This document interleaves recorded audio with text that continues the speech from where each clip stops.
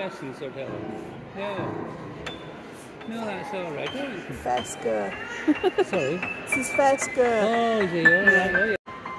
The trouble with pianos is that they, they go on of tune. They go, you know, they need to be in steady conditions or else uh, don't they? They go on of tune. That's the big trouble with them. And they're expensive to buy.